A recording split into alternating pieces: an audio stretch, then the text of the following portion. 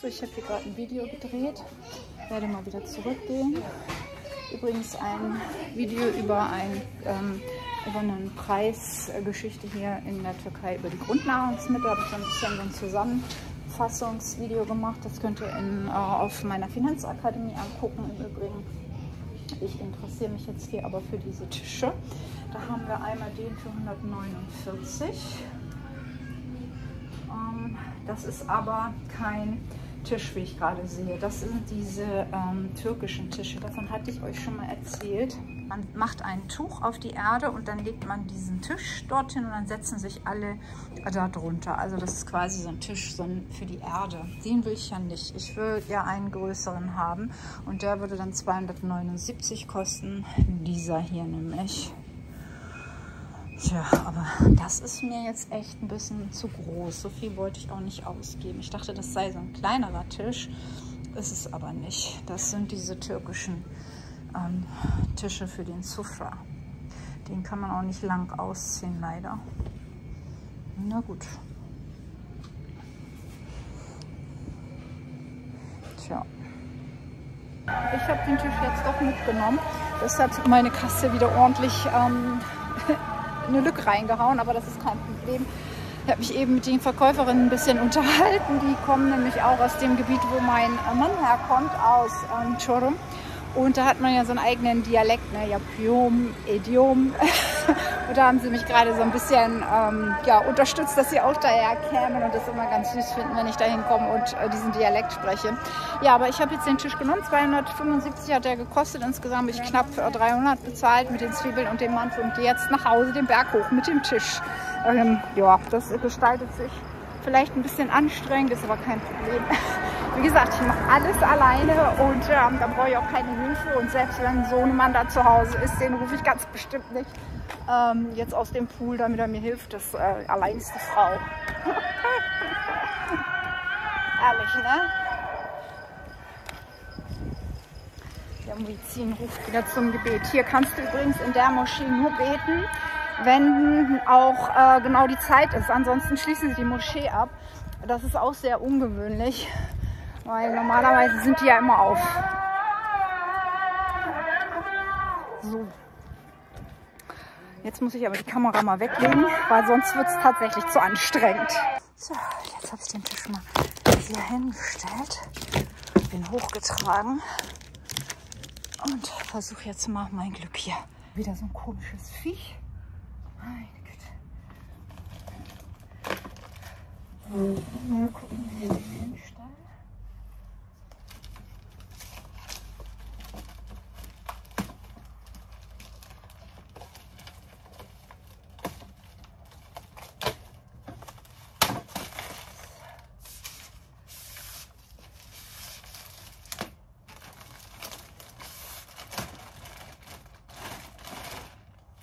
Das ich mal aufschneiden da unten. Kriegst du nicht ab Messer, aber dann kann ich nämlich meinen Tisch hier wieder wegstellen und das jetzt irgendwie hier so platzieren, dass man hier auch sitzen kann. So.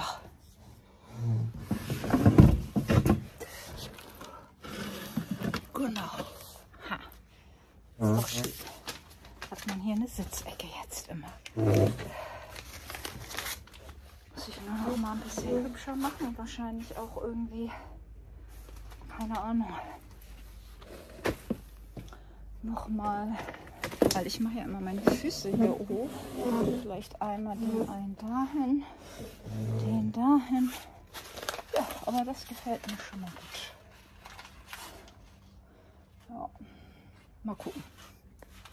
Jetzt gehen wir erstmal rein und ich werde mal ein bisschen was kochen.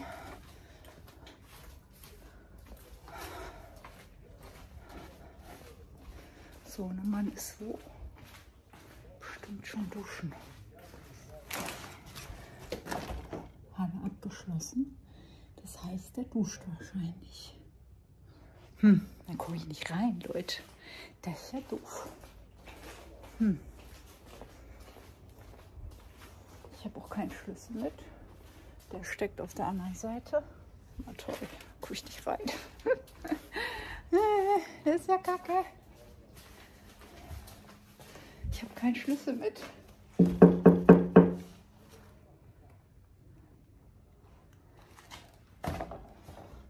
Hm. Bin ich ausgeschlossen. Das ist doof. Was habe ich mit meinem Dings gemacht? Oh, der Schlüssel steckt. Ich brauche gar nicht gucken. Den nicht mit.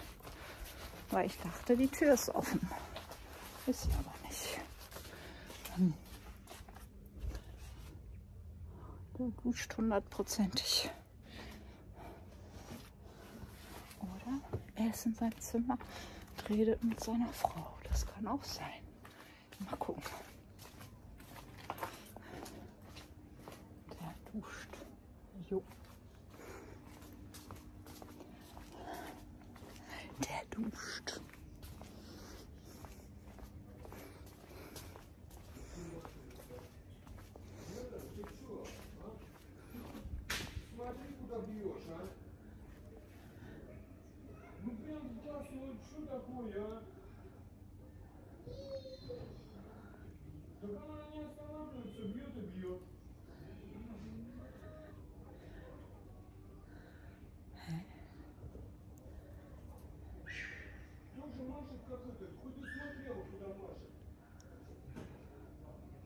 Ist das nicht russisch?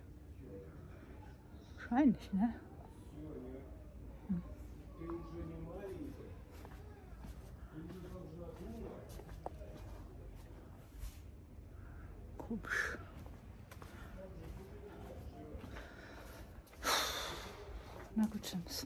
Ne? Hilft alles nichts.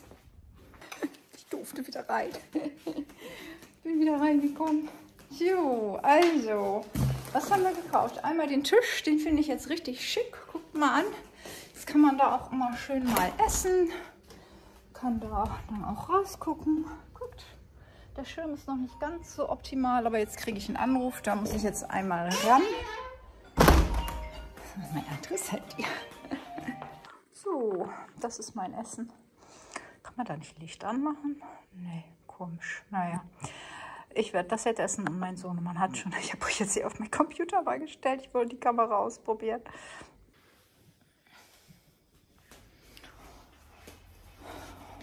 So, ich bin gerade am Schnitt meiner Videos angelangt für morgen und ich kann euch versprechen, dass die Qualität der Videos um einiges besser ist, als ihr das gewohnt seid. Also das iPhone 13 hat eindeutig eine bessere Kameraqualität, eine bessere Tonqualität. Also ähm, iPhone 13 ist auf jeden Fall besser als iPhone 12, finde ich jedenfalls. Also schreibt mir bitte in die Kommentare, wie ihr das fandet, wie ihr ähm, meine Videoaufnahmen, ähm, ja, wie das war für euch. Könnt ja mal ein bisschen hier ins Licht setzen. Sieht man ein bisschen, ja, ein bisschen, ne? Genau könnt ihr mir dann bitte mitteilen, ob euch das gefallen hat, ob das jetzt besser war. Ich jedenfalls im Schnitt empfand das als wesentlich besser. Ich habe auch ähm, meine Schnittsoftware geändert, obwohl ich damit noch nicht so gut zurechtkomme. Ähm, aber ich glaube, dass die Schnittsoftware erstmal sehr viel schneller äh, das Video rendert und zum Zweiten eine viel höhere Auflösung präsentiert als meine alte Schnittsoftware. Ein bisschen hier, ne? Und insofern denke ich, dass wir damit uns allen einen Gefallen getan haben. Sowohl die Schnittsoftware, äh, die Software zu verändern, als auch natürlich die Kamera.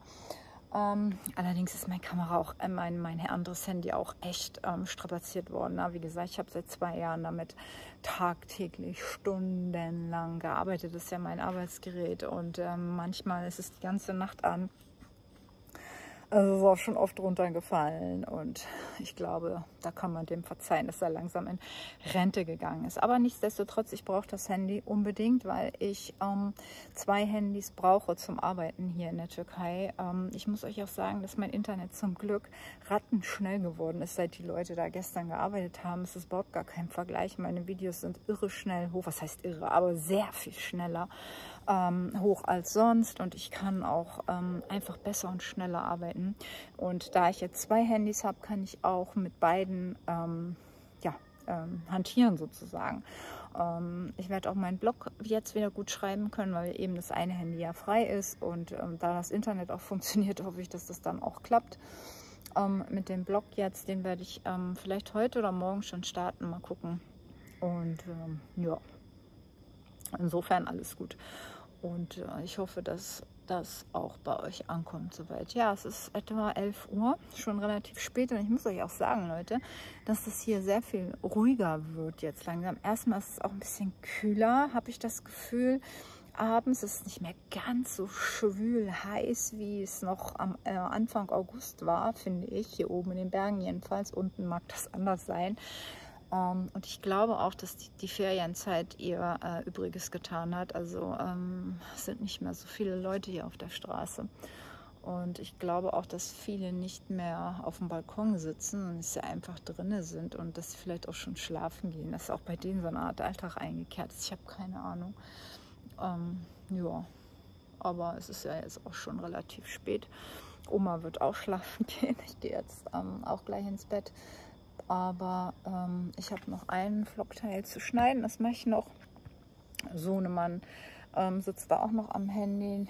Und ähm, ja, morgen ist ein neuer Tag. Morgen ist Freitag. Die Woche ist äh, wieder um. Ne? Also es ist Wahnsinn, wie schnell die Zeit hier vergeht. Das ist so, als hättest du die wahnsinnig schnelle Zeit, die sowieso schon existierte, noch einmal ähm, hochgehoben und nochmal äh, so einen Schub gegeben. Und es läuft ja alles nochmal doppelt so schnell. Das ist echt Wahnsinn.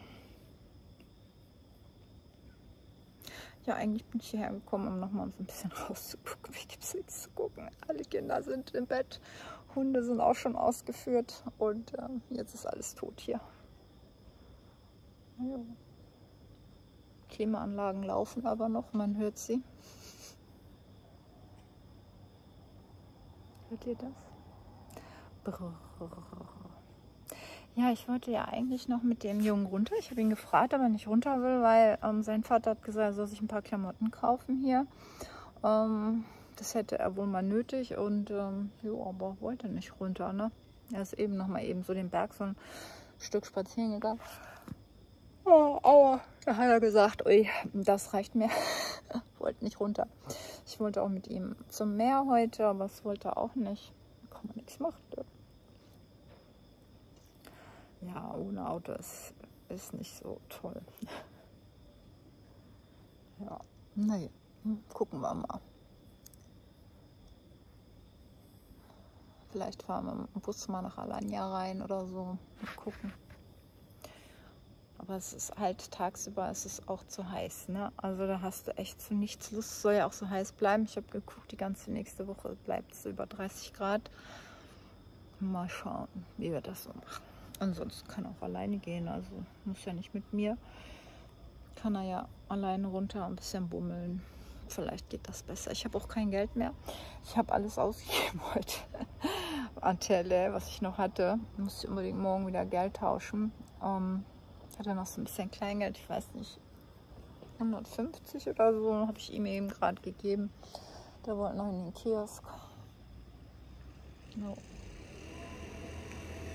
Ein Motorrad kommt.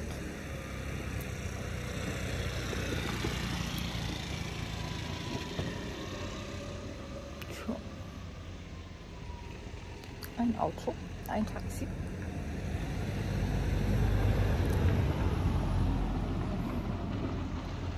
Jetzt kommen da Leute. Doch noch was los.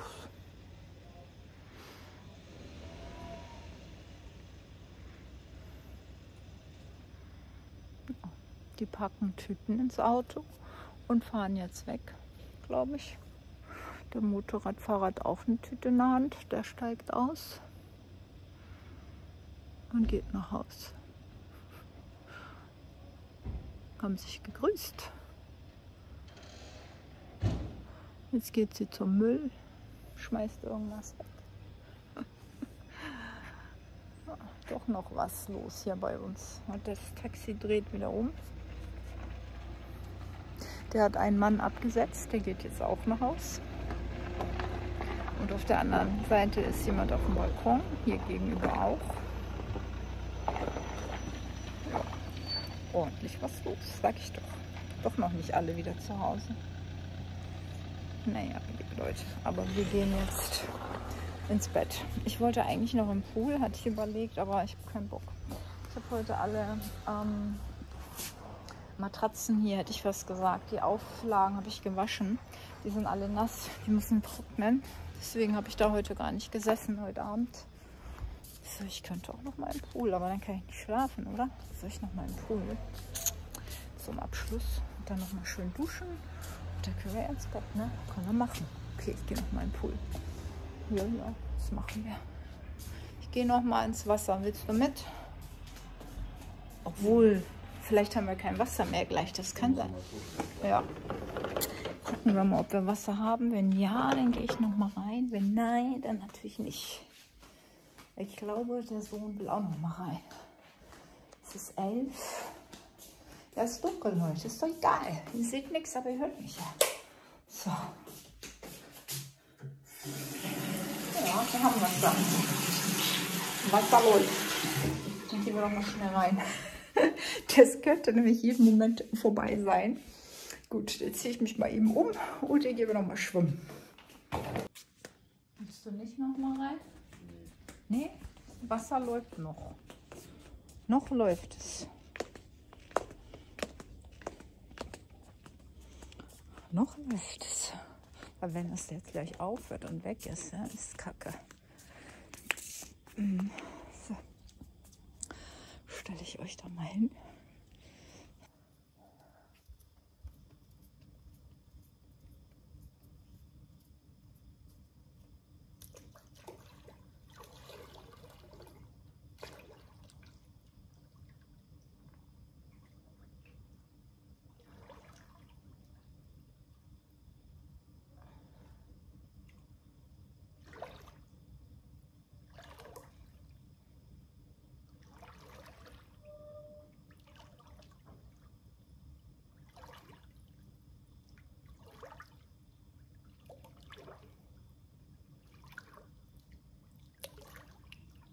Seht ihr das? Nicht